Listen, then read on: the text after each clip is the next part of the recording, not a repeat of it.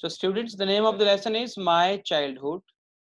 ठीक it is about our president. Now he is no more. He was a great scientist, Dr. APJ Abdul Kalam. So uh, let us start from here. Can you think of any scientist, any scientists who have also been statesmen? Statesmen है ना जो leader भी रहे हों APJ Abdul Kalam whose project whose projects in projects in space space में defense and nuclear technology guided India into the 21st century.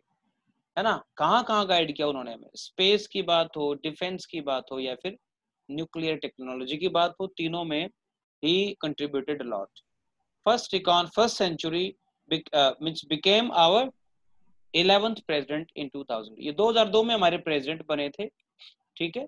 2002 से लेके 2000 और सेवन तक ही हमारे प्रेसिडेंट रहे। Doctor APJ Abdul Kalam clear let me uh, start the reading. It is his autobiography ठीक है? I was born into a middle class tamil family Tamil family थी वो तमिल स्पीकिंग पीपल थे वो जैसे तमिल लैंग्वेज होती है। तो I was born into a middle class Tamil family in the island town of Rameswaram है ना?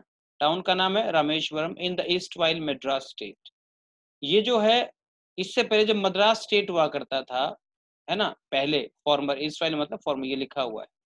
तो जब मद्रास स्टेट हुआ करता था, वहाँ पे इस टाउन का नाम था रामेश्वरम ठीक है? किसमें? मद्रास के स्टेट में। क्लियर माय फादर पिताजी का नाम क्या है? जैनु जैनुलाबिदीन ठीक है? अब आप ए पी जे जब देखते हो तो जे उन्होंने अपने पिताजी से लिया है। ठीक है? Jainulabdeen had neither much formal education nor much wealth ना तो ज़्यादा पैसा था और ना ही ज़्यादा धन था। डिस्पाइट दीज डिसएडवांटेजेस इन डिसएडवांटेजेस के बावजूद भी क्या किया?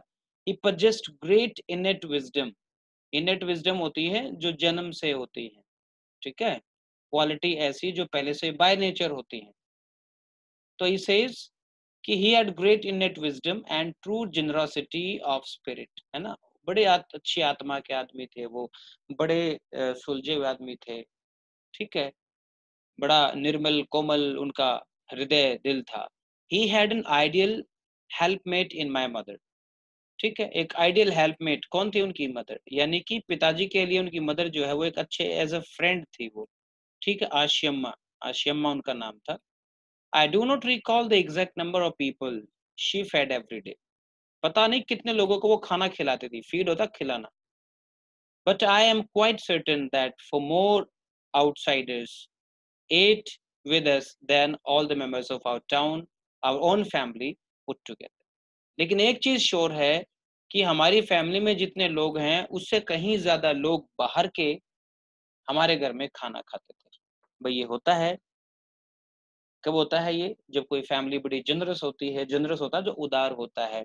कोई भी किसी को कोई चीज़ लेने आ जाए तो वो दे देता है आराम से। गाँव में भी in villages you will find there is a family which says that anybody in the village needs anything he can come to us and he can take anything है ना?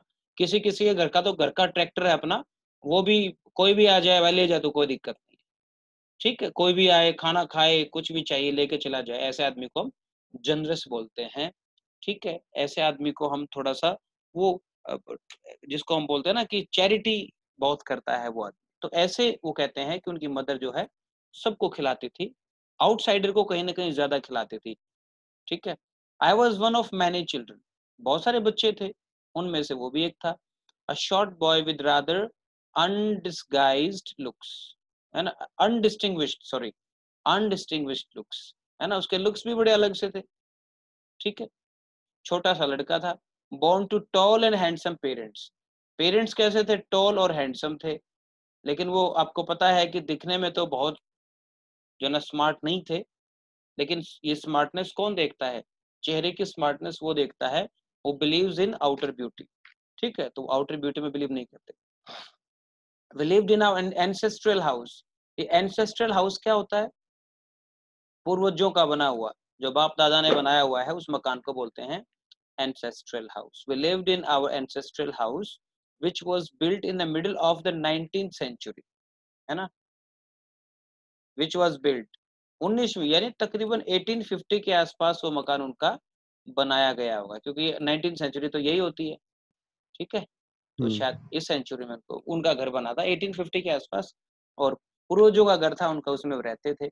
It was a fairly large pucca house वही उन दिनों में बड़े मुश्किल से लोग पक्के हाउस बनाते थे।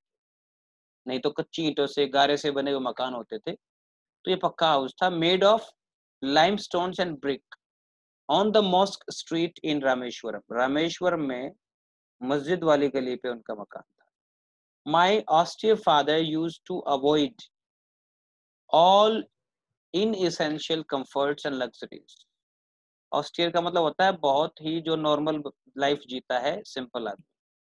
ठीक है? वो हमेशा अवॉइड करते थे। अवॉइड करना, दूर करना। क्या? इन इसेंशियल ये क्या होता है? जो ज़रूरी नहीं है, गैर ज़रूरी। कंफर्ट्स एंड लग्जरीज है ना? किसी को भी गाड़ी भी चाहिए किसी को पंखा नहीं है कोई बात नहीं पंखे के बगैर भी वो काम चला लेते थे। तो कुछ भी वो काम चला लेते थे।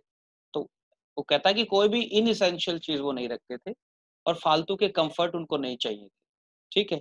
उनको गद्दे पे ही सोना है तो गद्दा गद्दे की ज़रूरत नहीं है। और भी घर के अंदर काफ़ी अरेंजमेंट्स किए जा सकते हैं। ठीक है? However, all necessities were provided for in terms of food अगर ज़रूरत की बात करेंगे तो सब कुछ दिया गया फ़ूड मेडिसिन और क्लोथ्स ये सारी चीज़ें मिलती थी। In fact I would say mine was a very secure childhood अब इनका चाइल्डहुड बड़ा ही सिक्योर था बोथ मटेरियली एंड इमोशनली दोनों तरीके से। मटेरियली का मतलब क्या है? जो चीज़ चाहिए थी, पिताजी ने ला के दी। इमोशनली का मतलब क्या है? इमोशनली का मतलब है, जो लाड प्यार बच्चे को चाहिए होता है, वो उसको दिया। His family loved him a lot actually